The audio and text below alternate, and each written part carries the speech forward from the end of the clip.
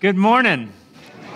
So good to see each and every one of you here on this beautiful, God has graced us with a great September Sunday morning. Welcome to Rocky Mount UMC. It is a delight to be in worship with you all.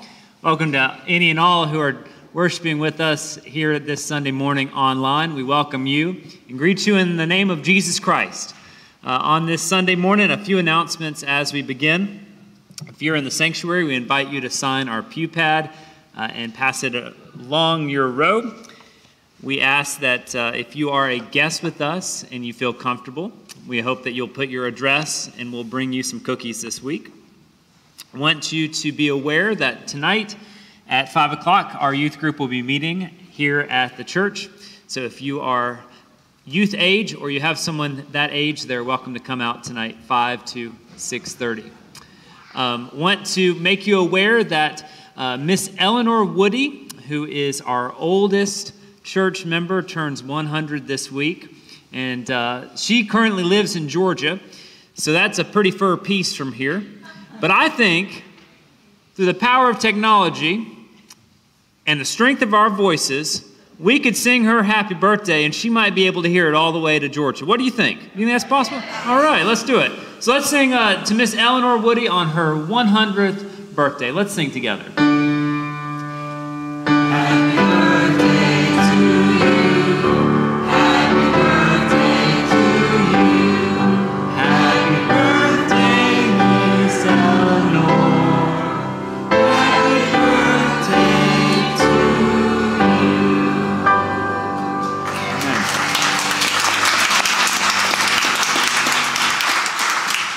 So good to her. You wrote over a hundred notes to her that were sent, uh, I believe, it was a week or so ago. So she's gotten those, and uh, she'll be blessed reading those on the celebration of her centennial. Um, let's see. Today's special because we're starting a new sermon series all about our favorite hymns. And Miss Lynn Meeks is going to be sharing some information each week about these hymns. And uh, so delighted to have her share that. Any other announcements that we want to lift up? This upcoming Tuesday, want you to be aware if you are on the Staff Parish Relations Committee, we're having a special called meeting at 6 p.m. 6 p.m. as we discuss the next steps for the uh, custodian position, which has now come open. So be aware of that if you're on SPR. Now let us prepare our hearts and minds for worship.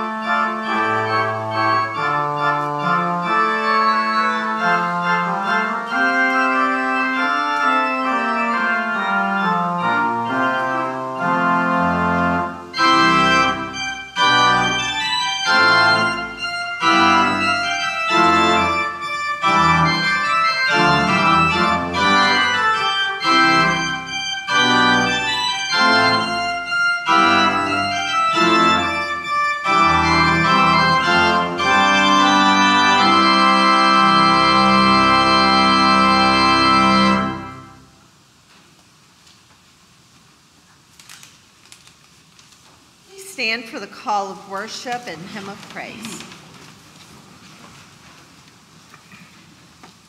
Lift praises to the name of our God. Bless God's name forever. How great is our God. From generation to generation, we will sing your praises and speak of your goodness. Great is our God and worthy of praise. God, you are just and kind in all your doings. Great is our God and worthy of praise. God, you watch over us in love and hear the desperate cries of those who call to you. How great is our God. How great is our God. Bless God's name forever. Our hymn of praise is Majesty, worship His Majesty. We will sing it twice, and it's on page 176.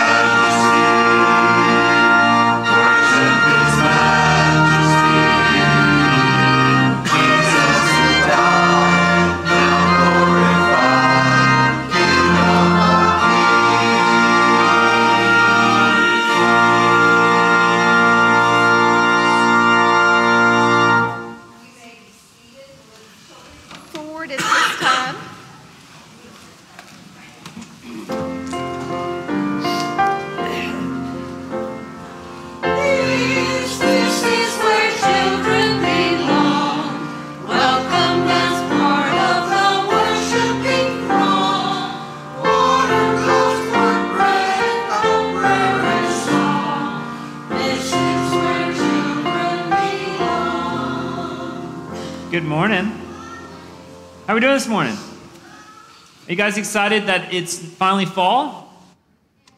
You excited about that? Well, I'm excited too because I love seeing the leaves change, and uh, I brought with me some fake leaves, which will show what the leaves are going to look like in a few weeks when the leaves begin to change. What do you guys love about fall? Yeah, what do you love, bud? The jumping in leaf piles. That is fun. I haven't done that in forever. I'm going to do that this year. Uh, yes, what do you love about fall?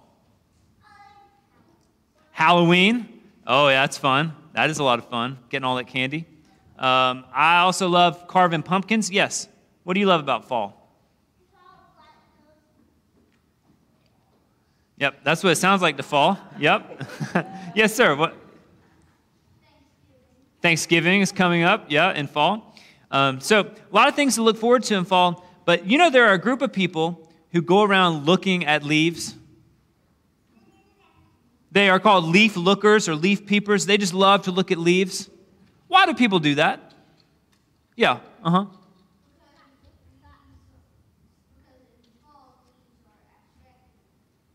Leaves are what? They're abstract and pretty. In the fall, leaves are abstract and pretty. That's true. Um, a famous uh, guy once said that in fall, leaves all become flowers because they all become beautiful. So people see all this beauty, and, and you know, we live in the beautiful Blue Ridge, and we're going to see our, our mountains covered in reds, yellows, and oranges. And uh, people are going to come just to see these leaves. You know what I think? I think people come to see the leaves because they can see a little bit of God in those leaves. They can see that beauty, and it's, it leads them to say, Wow, God, you are so beautiful. You created these mountains and these trees and these leaves. What's something that when you look at it, you think, Wow, God, you're really doing something incredible? Yes. A tiny little seed. Why is that? Okay. Okay, so a tiny little seed represents new life and new beginnings. It goes like that. I, I think that's true. Anybody else? When you see something, you think, wow, I think I'm seeing a, a bit of God's beauty here. Anything else? Yeah, another one? Mm-hmm.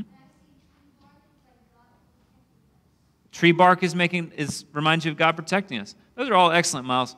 So when you see what God has done, it should lead us back to thinking of God and thanking God.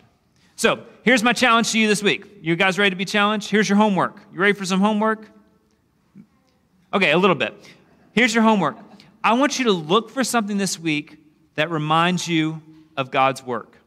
And next week, I'm going to quiz you. I'm going to ask you what you saw this past week. Okay? All right, let's pray together. Thank you, God, for all your goodness displayed in creation. All around I see evidence of your good work. In Jesus' name I pray. Amen. Amen. All right. Thank you, guys.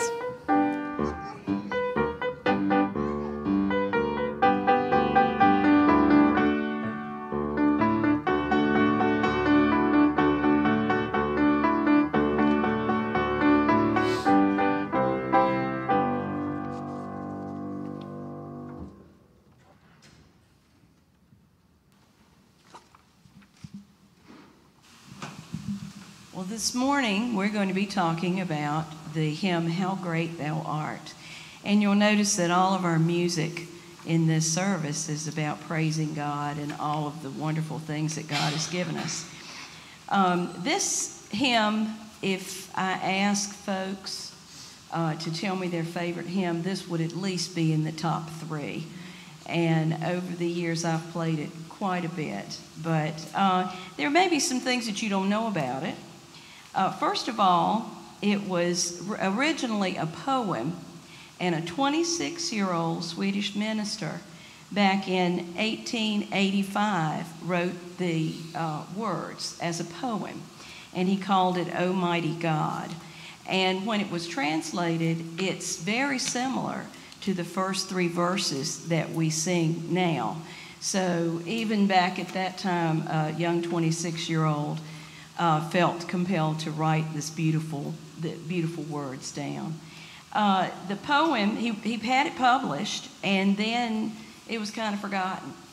And several years later, the poet was surprised to hear it being sung to a tune, a Swedish folk tune.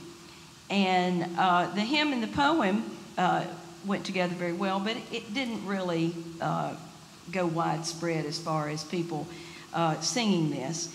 And then there was uh, Stuart Hine, who, if you look at the um, copyright and everything that's in our, our song now, he's the name that you see. He was a missionary from England, but he was in Russia and he heard this song sung. So he was so moved that he expanded the words and did another verse. And uh, then he kind of uh, tweaked the melody a little bit too. And uh, after that, it still, you know, it, it wasn't something that everybody in the world knew about. And when he went back to England, uh, and, uh, uh, somebody from the United States heard it, and he brought it back to America, and he introduced it at a, a conference in California of music publishers.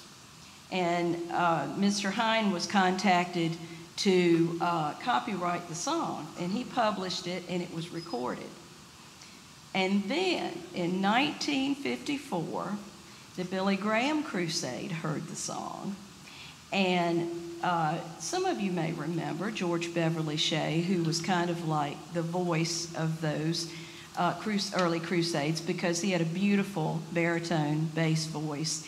And he was so touched by it, he introduced it at one of the Billy Graham crusades in Toronto, Canada, back in 1955.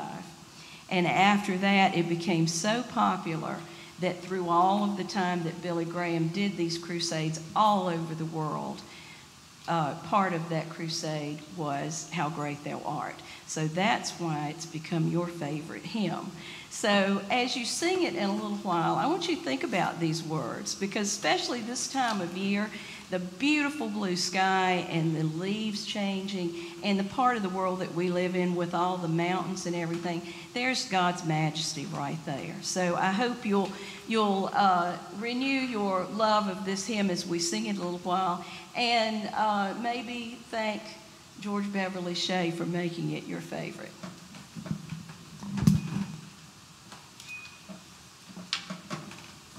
Our scripture lesson today is Deuteronomy 33, 24 through 29. And you can uh, use your Pew Bibles. It would be on page 184 in the Old Testament. And of Asher he said, Most blessed of sons be Asher. May he be the favorite of his brothers, and may he dip his foot in oil. Your bars are iron and bronze, and as your days, so is your strength. There is none like God, O Jeshurun, who rides through the heavens to your help, majestic through the skies. He subdues the ancient gods, shatters the forces of old. He drove out the enemy before you and said, Destroy. So Israel lives in safety, untroubled in Jacob's abode, in a land of grain and wine, where the heavens drop down dew. Happy are you, O Israel, who is like you, a people saved by the Lord, the shield of your help and the sword of your triumph. Your enemies shall come fawning to you, and you shall tread on their backs. This is the word of God for the people of God. Thanks be God. Will you pray with me? Gracious God, may the words of my mouth and the meditations of all of our hearts be acceptable in thy sight. You are our rock and our Redeemer. Amen.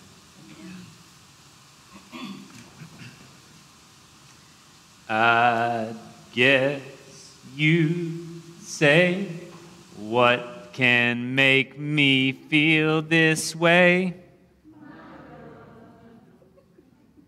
You ain't nothing but a hands, touching hands, reaching out, touching me, touching you.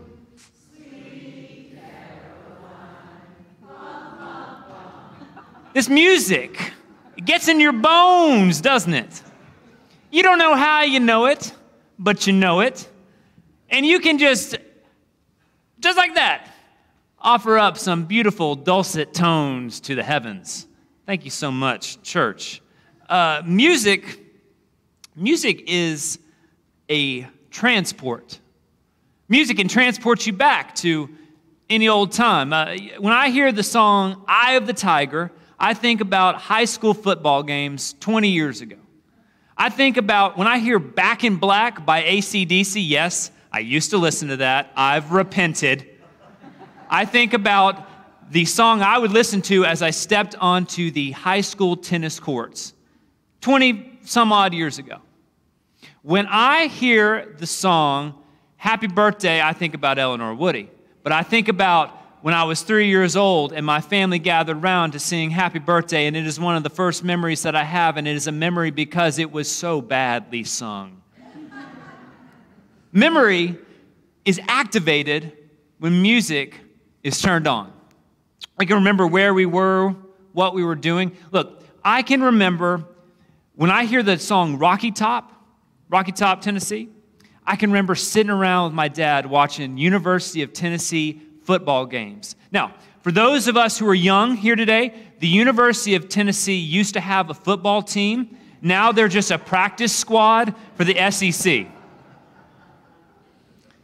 Music transports us, it takes us back to when we were young and had long flowing locks. It has this ability to, to, to break through time and space and transport us. Music also teaches us, doesn't it? A, B, C, D. You know this one. It's a good one. It's a great one. It teaches us that Garth Brooks had friends in low places, right? Remember Garth? It teaches us that Jeremiah was a prophet. We went over this like a year ago. it teaches us. Now, this list of hymns that we're going to be talking about the next few weeks is not my list, but it's your list. A few years ago, the United Methodist Church compiled a list of favorite hymns. And as Lynn said, this one's definitely in the top three. On our list, it was number two, just behind Amazing Grace.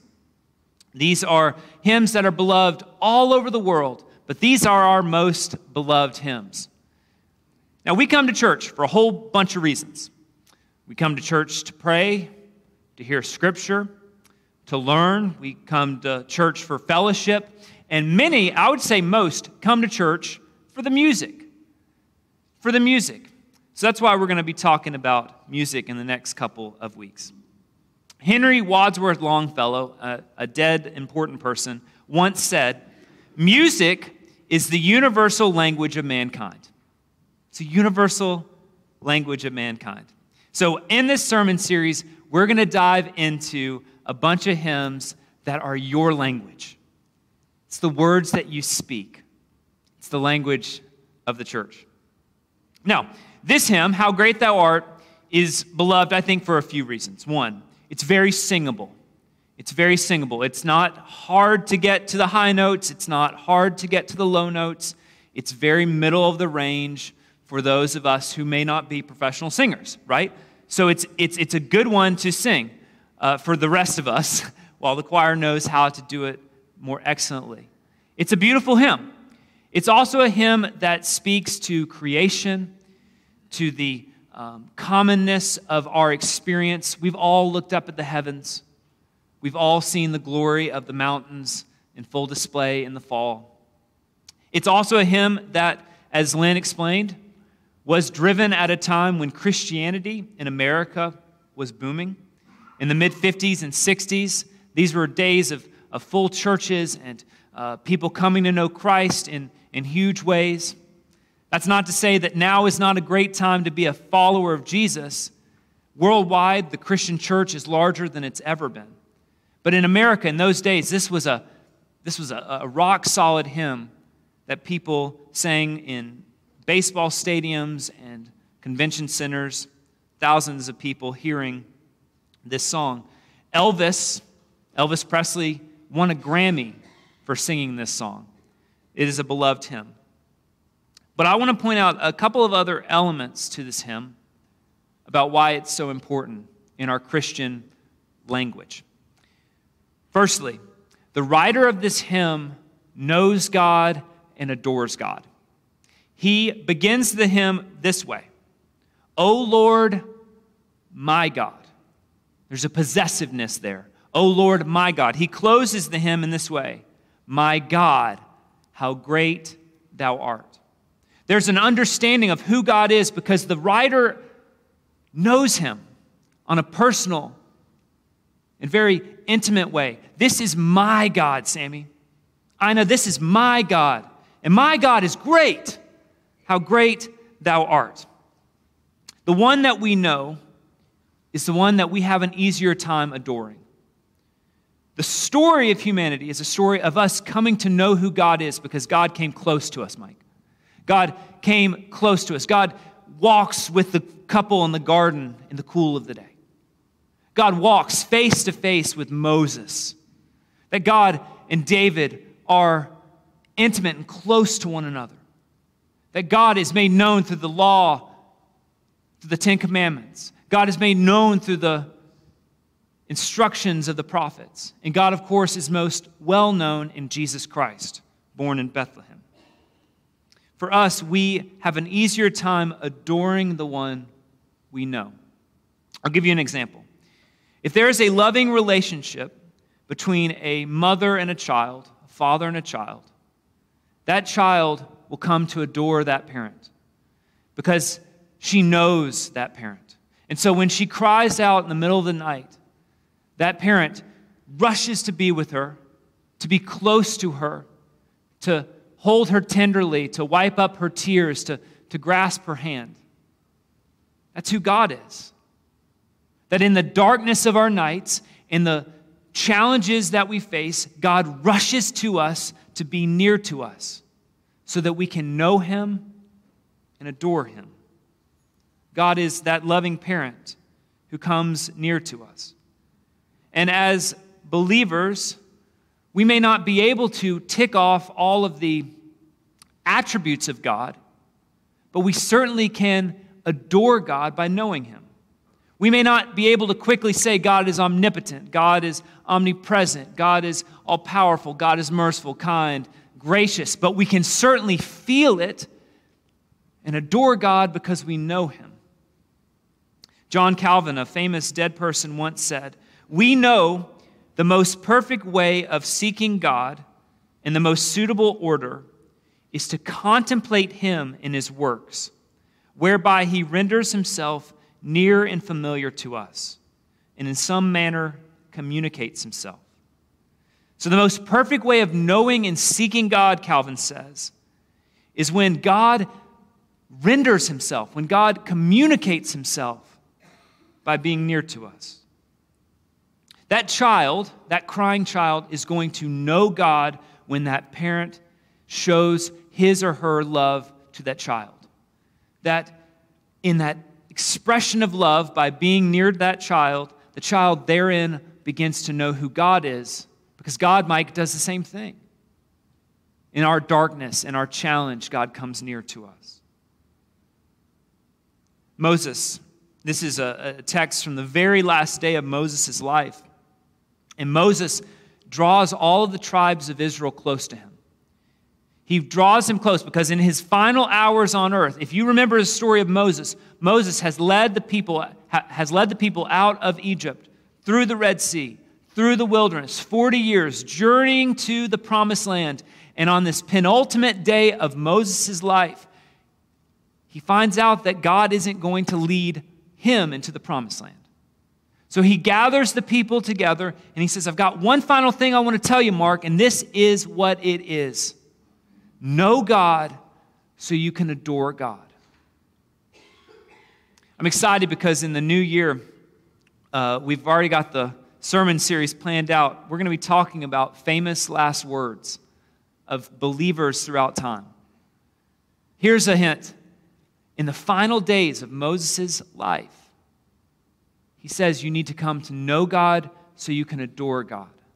Come to know Him so you can adore Him. He says, God has God in heaven has ridden to your rescue. He has moved through the heavens. That God, Moses on his final day, church, says, God has traveled all the way through the heavens, pushing aside any, any barrier, any cumbersome barrier to get to you.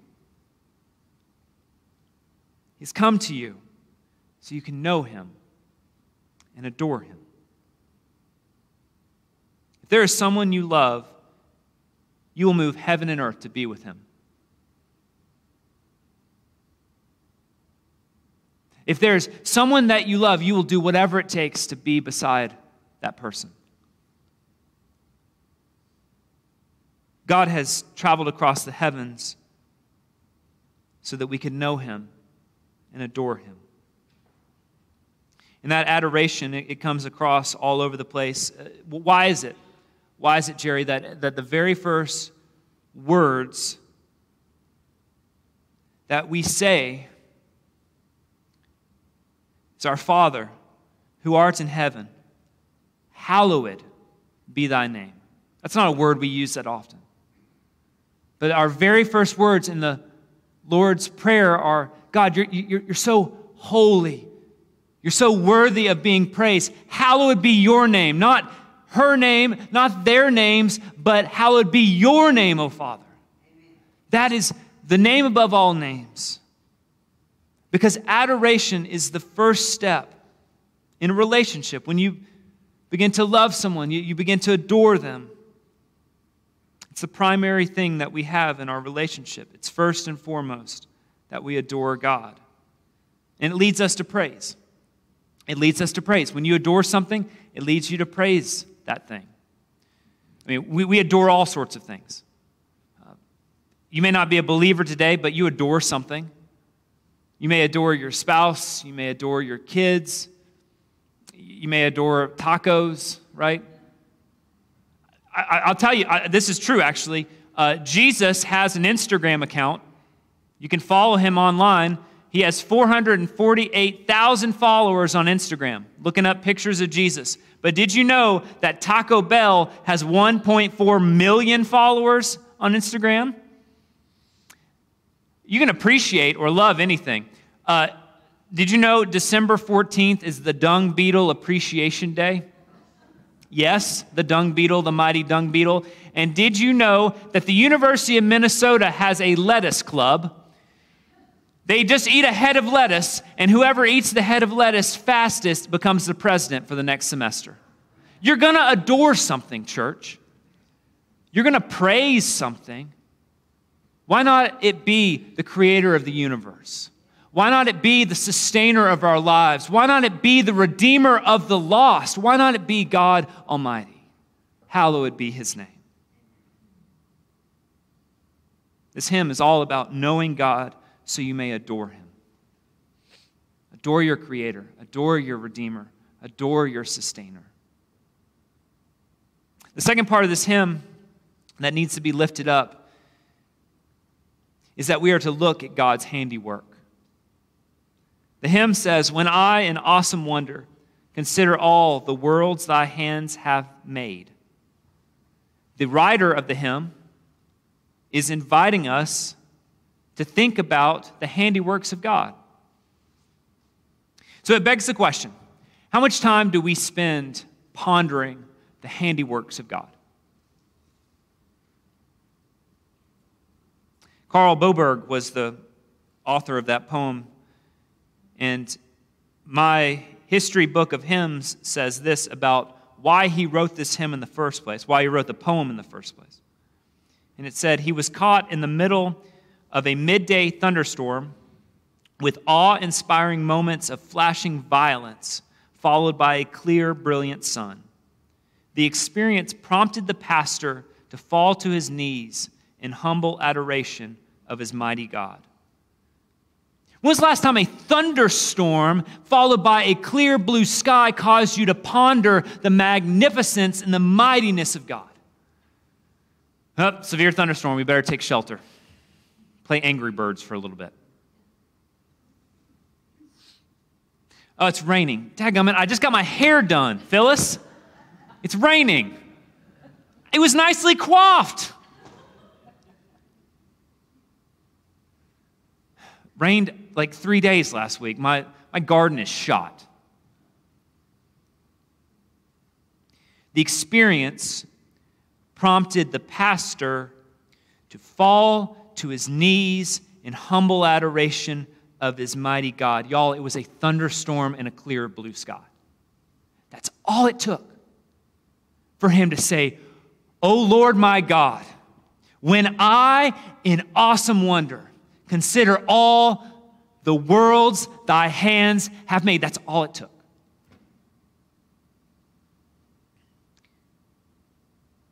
There's none like him. There's none like him. Moses, the original, says, God shattered the enemies you've faced. He's saying this to the people of Israel. God shattered the enemies you've faced, and you live in safety because of this God. Moses is inviting the 12 tribes of Israel to consider the handiwork of God. Consider that He has saved your tuchus all 40 years. You are now about to walk into the land flowing with milk and honey. He has shattered the enemies you've faced. You live in safety because of this God. Consider His handiwork. When was the last time we sat in awesome wonder all that God has done? Look to his handiwork. Moses goes on, he says, Happy are you, O Israel, who is like you, a people that has been saved by the Lord. The salvation that we've received should lead us to an eruption of praise. The salvation we've received should lead to an eruption of praise. We should be praising God because it is good and glorious to do so. But also, it is good and glorious to be alive. It is good and glorious to draw breath. It is good and glorious to be walking and talking and living and knowing God.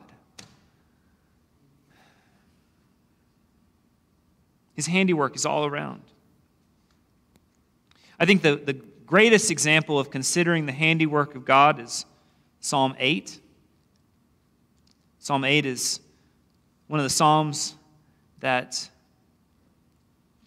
influenced the writer of this poem, which became How Great Thou Art. This is a Psalm of David. I'm going to read it to you in its entirety. O Lord, our sovereign, how majestic is your name in all the earth. You have set your glory above the heavens. Out of the mouths of babes and infants, you have founded a bulwark because of your foes, to silence the enemy and the avenger. When I look at your heavens, the work of your fingers, the moon and the stars that you've established, what are human beings that you are mindful of them? Mortals that you care for them. Yet you have made them a little lower than God and crowned them with glory and honor. You have given them dominion over the works of your hands. You put all things under their feet all sheep and oxen, and all the beasts of the field, and the birds of the air, and the fish of the sea, whatever passes along the paths of the sea. O Lord our sovereign, how majestic is your name in all the earth. David here is saying, When I look up at the stars, I think of you. When I look at the birds, I think of you. When I even look upon humanity, I think of you, God. Consider the handiwork of God. So, why do all this contemplation? It is so that we again will return our praise to God. Return our praise to God. Throughout Scripture and throughout our lives, there are those who will remind us of this. So let me share with you two and then one more. Paul writes Whatever is true, whatever is noble, whatever is right, whatever is pure, whatever is lovely, whatever is admirable, if anything is excellent or noteworthy, think about these things. So, what is it, church, in your week that you can look to to be reminded of God's? Is it the laugh of a baby? Is it the tender touch of your grandmother? Is it a text message from a friend? Whatever is lovely, whatever is admirable, whatever is excellent or praiseworthy, think about these things. Think about these things. It will draw you back into praise to the Lord. Moses says, There is none like God who rides through the heavens to your help, majestic through the skies. He subdues the ancient gods and shatters the forces of old. How have you been protected? How have you been watched over? How have you been cared for? Have you thought and contemplated these things? And have they led you back to praising God? Or Carl Boberg, writer of a famous poem, wrote this O Lord my God, when I in awesome wonder consider all the worlds thy hands have made, I see the stars, I hear the rolling thunder, thy power throughout the universe displayed. Then sings my soul, my Savior God, to thee. How great thou art, how great thou art. Then sings my soul, my Savior God, to thee. How great thou art, how great thou art. What is it going to be this week that draws you back to knowing our God and adoring Him? What's it going to be? Let's pray. Merciful Master, gracious God, we give you thanks and praise endlessly because you have formed us and made us. Lord, let us consider the works of your hands this week and all the weeks of our lives so that we will be drawn back into adoration and love for you. Push aside the distractions, push aside, Lord, the barriers to worshiping you and to noticing your handiwork. This I ask, this I pray. In the name of Jesus. Amen.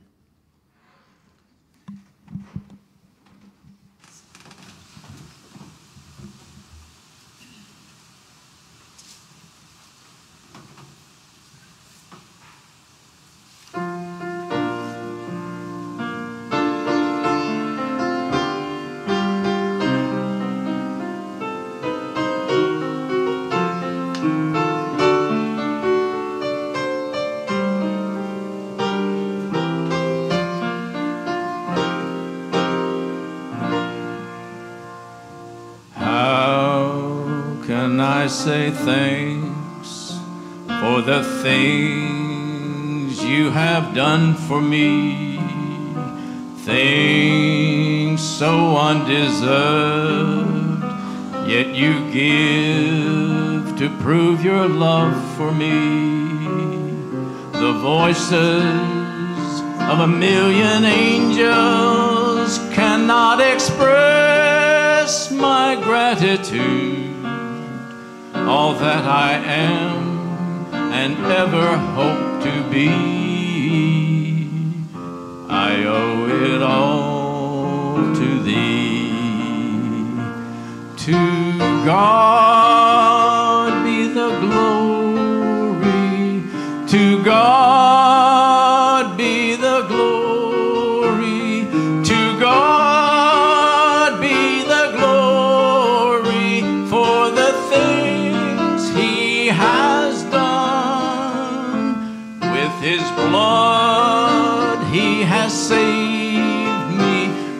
His power, He has raised me.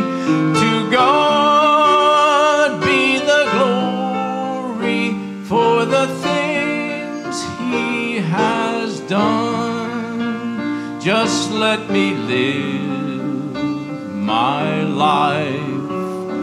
Let it be pleasing, Lord, to Thee. And should I gain let it go to Calvary.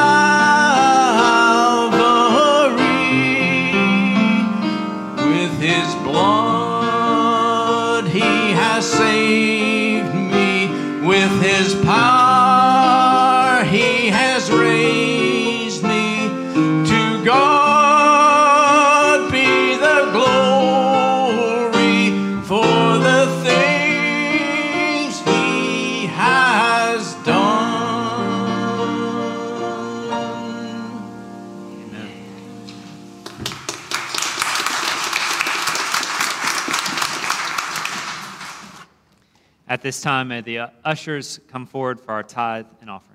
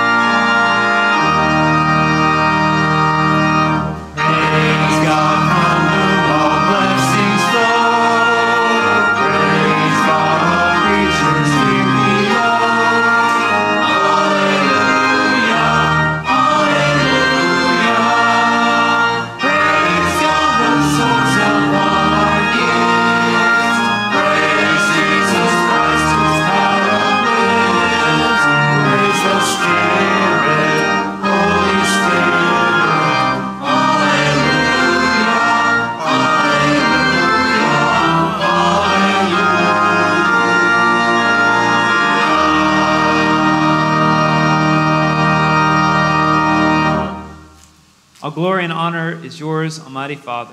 You've created us and you've given us the opportunity to return praise and thanks to you. We do so, Lord, with our voices, with our hearts, and with these gifts. May you use them for your glory. In your name I pray. Amen. Please be seated.